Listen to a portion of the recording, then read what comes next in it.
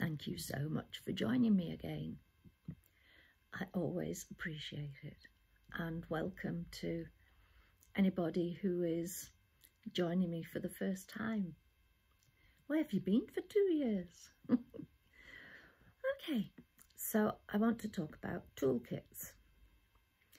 Yeah, I admire people who have a toolkit involving screwdrivers, hammers, etc., etc., that is neat and tidy, a place for everything and everything always in its place. Mm. Mine's never like that. I've always, where's the hammer gone? And it's wherever I actually laid it down at the end of the last task. I am not very methodical with that.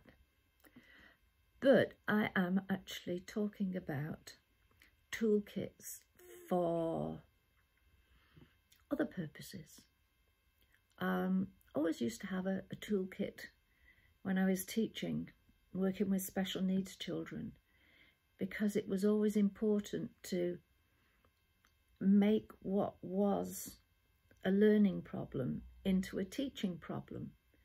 So that meant trying different ways to gain access to their particular way of learning and there to help them to remember things. Um, yeah, some of the things that I tried were, were really quite interesting and they were very often off the cuff when everything else had not worked. I used to enjoy doing that sort of thing. But also I have a toolkit when it comes to therapy. Um, I don't believe in just offering one type of therapy. The thing seems to be CBT at present because it's time limited, therefore it comes out more cheaply.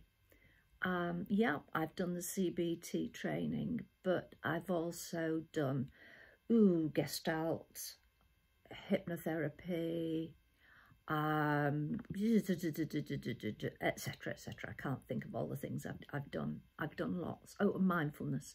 I've done a lot of work with mindfulness. So it's a matter of what is right for an individual, just as with the child, the same with a client. What works for one client might not work for another. So it's the same with having a personal toolkit, especially if we're experiencing mental or emotional problems. It's good to have a standby of things to try because law, what works on one day, it might not work the next day. So good to have a backup of things that you can try. And friends can advise you, yeah, but not if they start saying, you've got to do this because it worked for me. It might have worked for them, but they are a different person. And it can be the complete opposite. For me, I retreat into my home if the old hamster in the wheel is going round full tilt up here.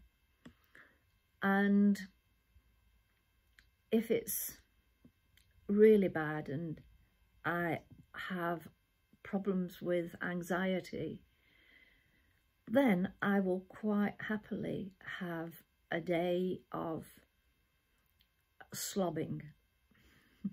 I will be in my pyjamas, in my dressing gown, just because I need to feel totally physically comfortable. And that might actually include going and snuggling under the duvet for the afternoon. And I've got over feeling guilty about things like that. The world doesn't stop, the world carries on. So I'm not hurting anybody. I'm not adversely affecting anybody. But for others, it can be the complete opposite for me. I feel safe here. I like to hunker down here. I like to heal here, also out in nature. But for others, they need to feel ready to get out, to escape, to run. So they feel that they have to be up and dressed and ready to go at the drop of a hat. For me, that would feel wrong. For them, spending the time in the pyjamas and dressing gown would feel wrong. It's not one size fits all because we are all individuals. We all have our, I don't like the word, but it, it does say what I mean. We all have our own backstory, the things that are affecting us, the things that are affecting our minds, and of course our physical being as well, because you can't separate them. So it's good to find out what helps you. I like music. I've got a stack of DVDs um, and I will listen to those. I'll now that my eyes are recovering, I'm hoping I'll be able to get back to doing some craft work. Um, for me, that's a good way to escape. I'm being creative and being creative is good. And a, a friend knows this and bought round for me the other day a little pack of travelling paints and some painting paper. So I have no excuse. I've got embroidery, I've got painting, I've got things that I can try. So get yourself a backup of things.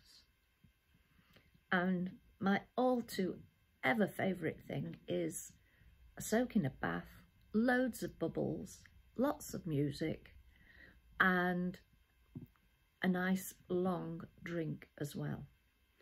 Sometimes a glass of wine, but very often a nice cold, fresh orange. And I can stop there until I feel and look like a prune, but nobody minds. On that note, sort out your toolkit.